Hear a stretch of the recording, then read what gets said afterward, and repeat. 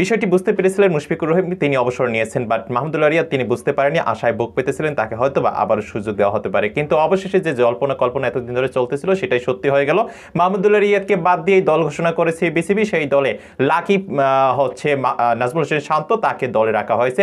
সৌম্য সরকার নিয়ে অনেক জল্পনা কল্পনা ছিল, তিনি ওপেনিং করতে পারবেন কিনা হ্যাঁ তাকেও স্ট্যান্ড বাই ক্রিকেটার হিসেবে রাখা হয়েছে স্ট্যান্ড বাই চারজন এবং সেই সাথে পনেরো সদস্যের চূড়ান্ত দল ঘোষণা করা হয়েছে। চলুন একটু জেনে নেই, পনেরো সদস্যের দলে কে কে রয়েছেন। পনেরো সদস্যের স্কোয়াডে যারা যারা সুযোগ পেয়েছেন তাদের মধ্যে অন্যতম সাকিব আল হাসান দলীয় অধিনায়ক লিটন কুমার দাস, মেহেদি হাসান মিরাজ, ইয়াসির রাব্বি, সাব্বির রহমান, নাজমুল হোসেন শান্ত, আবিব হোসেন ধ্রুব, মুসাদ্দেক হোসেন সৈকত, নুরুল হাসান সোহান ভাইস ক্যাপ্টেন।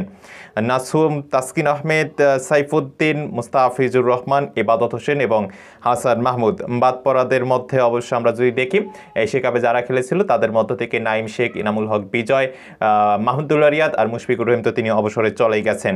তো এই হচ্ছে বাংলাদেশের পনেরো সদস্যের স্কোয়াড আর চারজন স্ট্যান্ড বাই হিসেবে যারা খেলতেছেন, তাদের মধ্যে শরীফুল ইসলাম, রিশাদ, শেখ মেহেদি এবং সৌম্য সরকার।